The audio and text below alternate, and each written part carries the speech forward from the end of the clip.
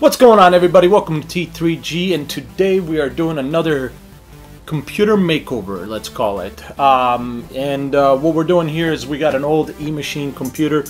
Uh, it's actually my sister's computer that a while back I took the guts of this thing and swapped them out with new parts. So in here it's not as old as the actual case is, but there's still a little older parts. And what we're going to do is we're going to get a new case for it. As you can see here, we got the Tesseract uh, which we overall like the case so we picked up this one for this swap. Uh, we picked up since this is an older board and it's DDR2 RAM we actually picked up some RAM we found on uh, eBay. Uh, it's DDR2 800 megahertz uh, 4 gig sticks so we'll have 8 gigs in here. Um, so we'll see how these go and we'll, we'll talk about if they're good enough in this video if they're even worth the buy uh, they did come from China, so we'll see how well these work. But they claim they're Samsung 4 gig sticks. And we're going to put in a different hard drive. We're going to put in a SATA 500 gig uh, Western Digital, I believe.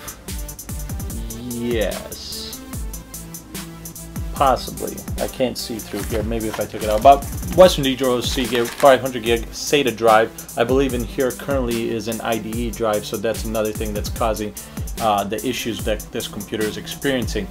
The issues that it is experiencing is it takes forever to boot up, which with a mechanical drive, it's going to take longer than what we're used to since we've been using SSDs. But also everything takes forever to turn on. So hopefully a fresh install, some new parts. It only has 2 gigs of RAM, so that's going to cause it to run very slow. So hopefully with this RAM upgrade, that's going to help out as well and uh, we'll see how it goes. Hopefully all this helps it and improves it and uh, we'll go from there. But first things first, let's find out, let's see exactly how bad the performance of this is. Alright guys, here we go. So we're going to turn it on. Let's take a look how bad this is.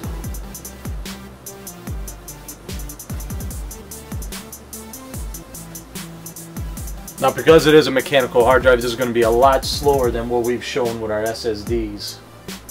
But uh, it's not really the startup that bothers me, it's how long after the startup everything takes to boot. So we'll, uh, we'll take a look here in just a second.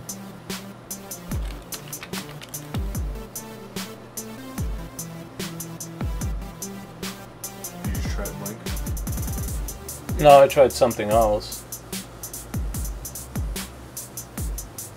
Sounds like it's going.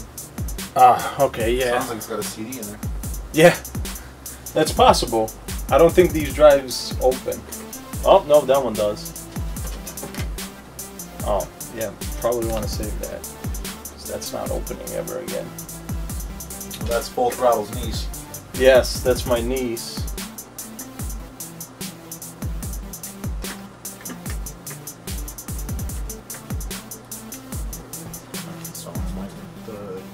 Yeah.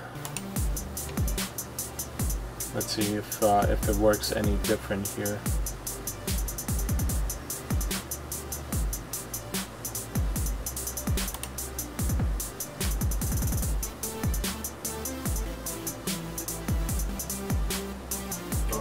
Seeing it's 2.0. The power supply might be bad. What do you mean?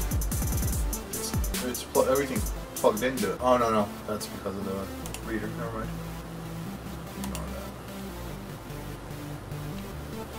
For whatever reason, even though it's got its own power supply, the, the hub on the G19 is not reading as 2.0.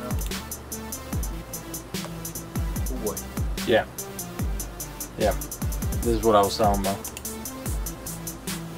So let's take a look at performance here in the task manager. So the CPU is not being taxed, which is good, but I mean we're almost maxing out the RAM here.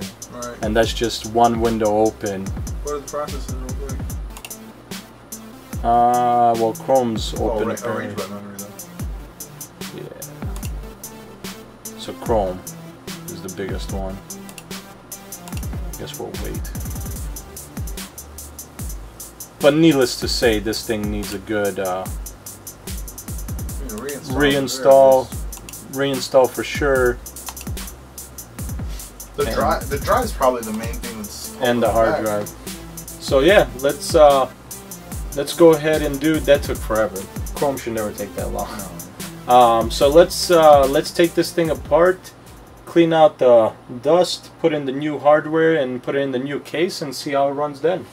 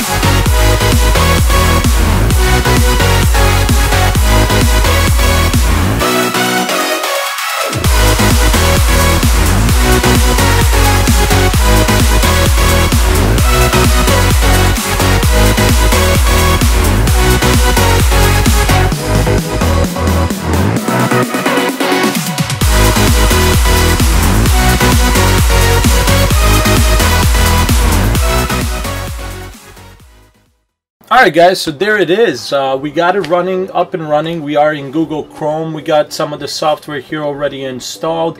Uh, actually, most of it, the only thing that's missing is TeamViewer. Uh, but it's running. It's running quick. It's responsive. It's fast. Everything's loading like we want it to. If we go into the task manager here, we're seeing here 8 gigs of RAM. Uh, so we did upgrade it to 8 gigs DDR2 RAM. We did get this RAM from eBay. And I'm here to tell you it's worth it. If you have an AMD motherboard, this will specifically work with AMD boards. There might be some Intel boards that it will work with, but mainly for AMD. Even says in the description because it's high density RAM. Uh, that being said, it does work. 8 gigs of RAM, it was cheap.